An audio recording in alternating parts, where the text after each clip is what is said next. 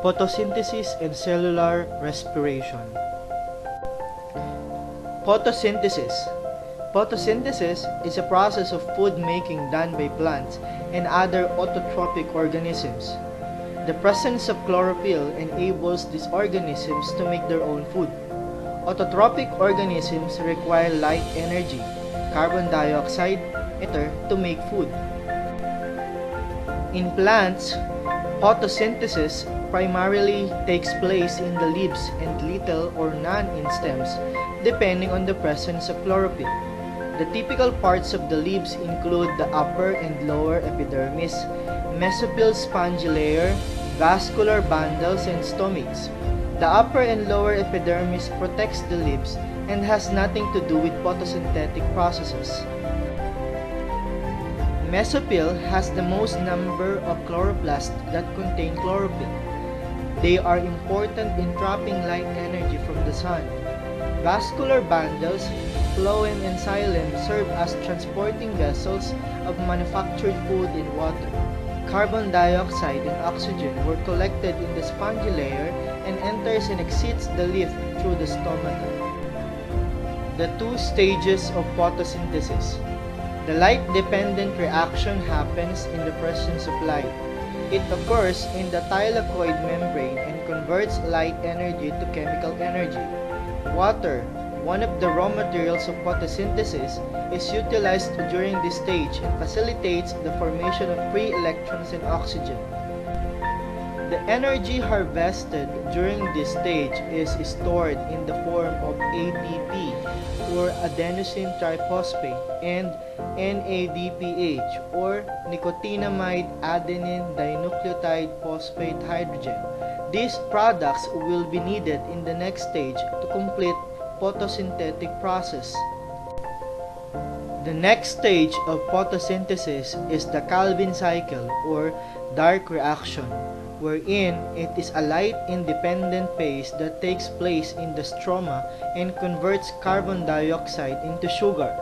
This stage does not directly need light but needs the products of light reaction. This is why it occurs immediately after the light-dependent phase. The chemical reaction for photosynthesis is carbon dioxide plus water through the help of chlorophyll and sunlight will result to glucose plus oxygen.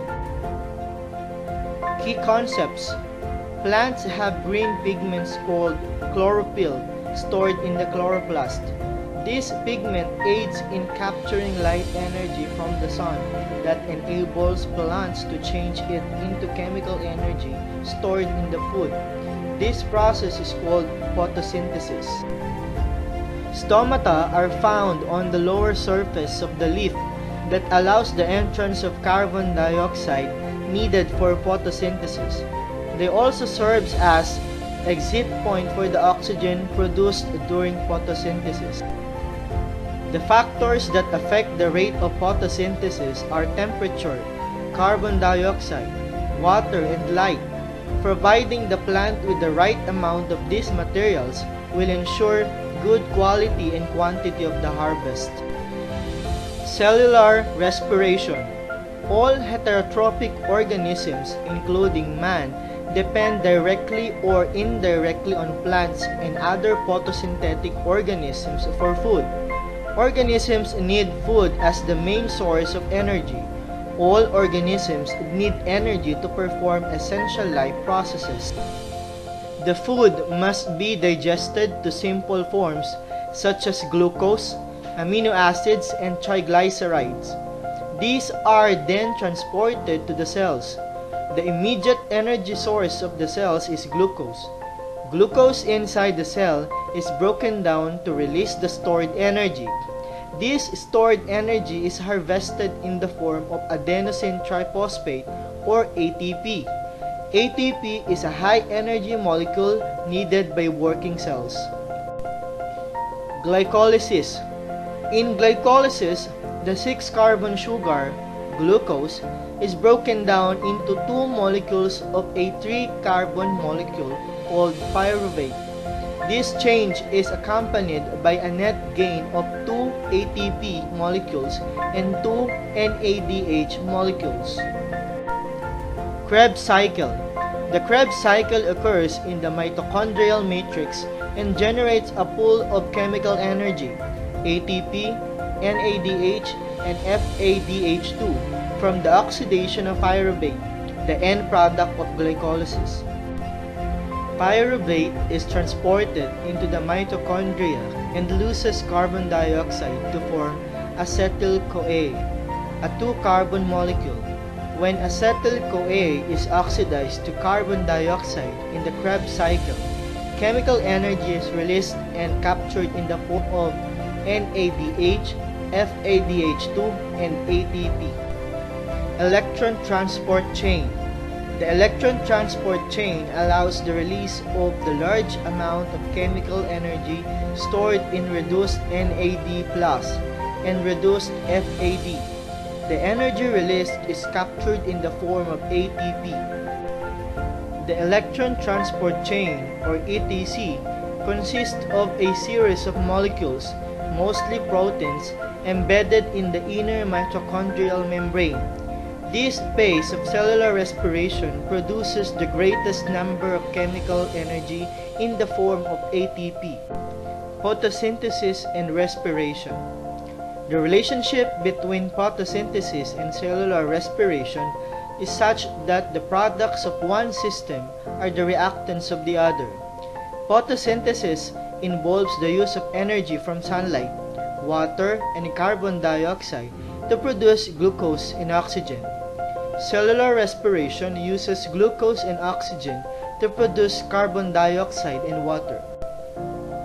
Humans, animals, and plants depend on the cycle of cellular respiration and photosynthesis for survival.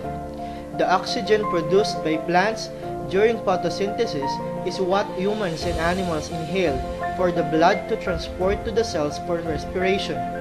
The carbon dioxide produced during respiration is released from the body and absorbed by plants to help provide the energy they need for growth and development. This is the never-ending cycle that sustains life on Earth. The process of photosynthesis is used by plants and other photosynthetic organisms to produce energy, whereas the process of cellular respiration breaks down the energy for use. Similarities between photosynthesis and cellular respiration. First, they both have reduction oxidation reaction. They both have electron transport chain. They both synthesize ATP. They both utilize ATP. They both have phosphorylation. And last, they both have electron carriers. The differences between photosynthesis and cellular respiration. First, Photosynthesis occurs in plants, algae, and photosynthetic bacteria, while cellular respiration occurs in all living organisms. In terms of function and purpose, photosynthesis capture, convert, and store energy, while cellular respiration release energy.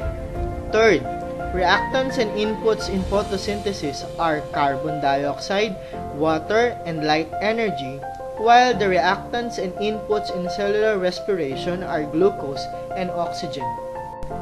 The metabolic process in photosynthesis is anabolic, wherein carbon dioxide and energy from ATP and NADPH are used to build glucose molecules, while in the cellular respiration it is catabolic, wherein glucose is broken down to produce carbon dioxide and energy in the form of ATP NADH, and FADH2.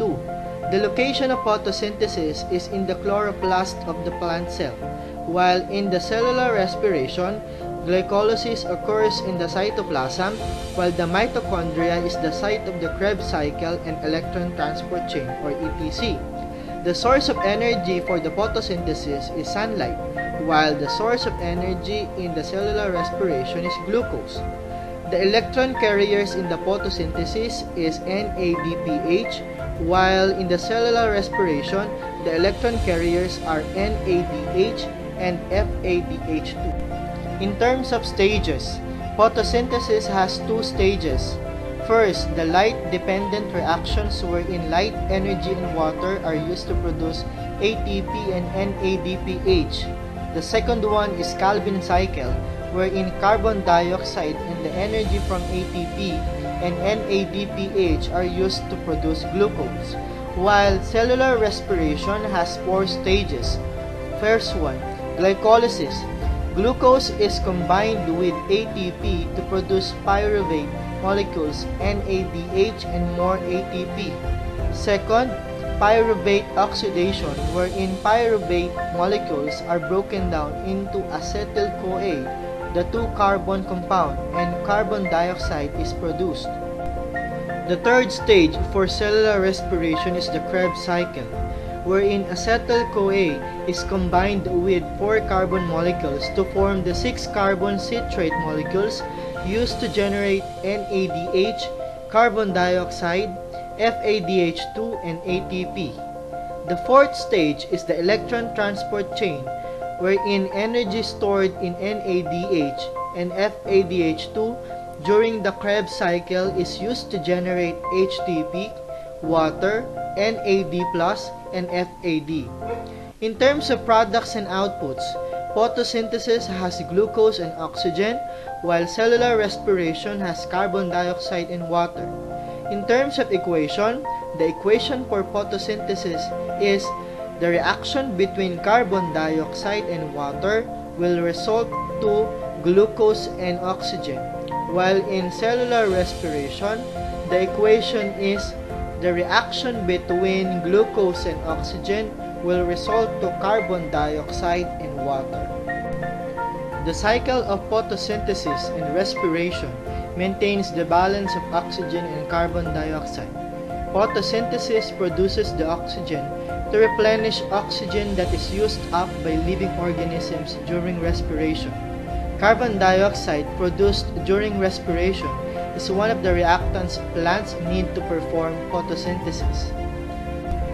Photosynthesis and cellular respiration are both part of a mutually beneficial relationship. Cellular respiration cannot occur without photosynthesis, and photosynthesis certainly cannot occur without the help of its partner.